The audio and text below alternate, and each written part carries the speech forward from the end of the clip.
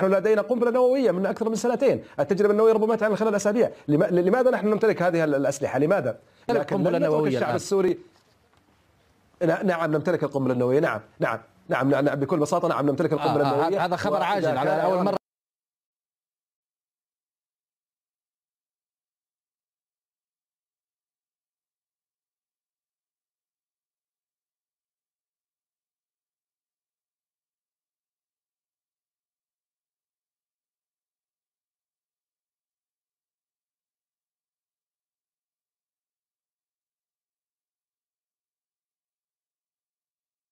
في باكستان. على الأراضي الباكستانية يوجد سلاحين نوويين تحت تصرف السعودية في قاعدة كامرا في شمال منطقة أوتوك الباكستانية.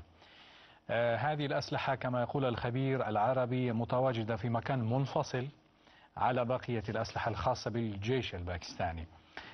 أكثر من ذلك تتواجد هناك طائرتان نقل عملاقتان بأطقم الطيران الخاص بهما تابعتان للسعودية. ما نشاهده الآن هو صورة التقطتها الأقمار الصناعية الإسرائيلية في 12/3/2002 لمنطقة تدعى السليل وهي تبعد كما ذكرنا 500 كيلو متر جنوب الرياض. هذه المنطقة أكدت مصادر التحليل الاستخباري الإسرائيلي ووافقتها مصادر التحليل الاستخباري الأمريكي والغربي على أن هذه القاعدة قاعدة السليل هي قاعدة لأسلحة نووية صواريخ أرض أرض. استطاعت الاستخبارات الإسرائيلية أن تجزم بأن عدد الصواريخ الموجودة فيها هي 120 في حين أن السعودية تقول أنها صواريخ تقليدية صينية الصنع. عددها لا يتجاوز الستين صاروخ.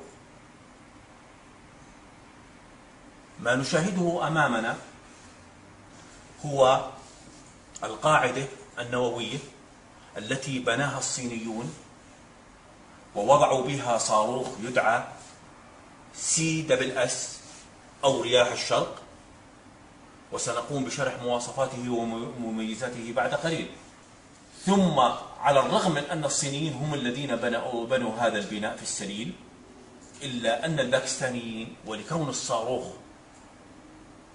آه، باكستاني قاموا قام الباكستاني بإدارة هذه القاعدة وبإشراف من المملكة العربية السعودية. استخباراتية تفيد بوجود أسلحة نووية صنعت في باكستان لصالح السعودية وأنها جاهزة لتسليمها إلى المملكة في أي وقت وهو الأمر الذي أكده مسؤول استخباراتي سابق في باكستان.